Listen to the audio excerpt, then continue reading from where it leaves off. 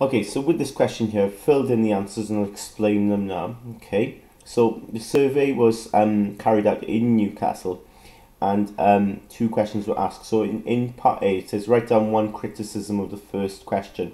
When you read that first question, okay, the tone of it sort of leads you to sort of say no, okay, because, you know, it says, do you think it's right to play England's games in London? Okay, but it's given then sort of like a justification for you to say no because it says which makes it difficult for people from the north of England to attend. Now they're asking people in Newcastle in the north of England, so of course they're going to say no. I don't. I don't think it's right. Okay, so it's a leading question. We say okay. It leads you to give one answer. A question should be unbiased. Okay, there should be no bias at all. You should be able to select one or the other without any opinions from the question itself.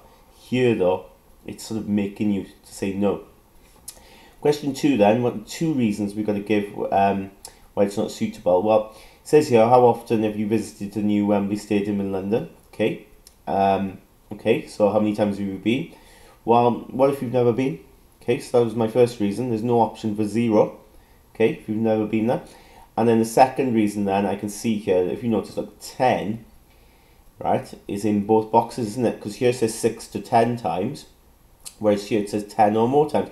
So if you actually went 10 times, okay, um, what box do you tick? You know, you, you can't tick two boxes, you can only tick one box. So which one should you go in? Okay, um, so boxes are not supposed to overlap like that.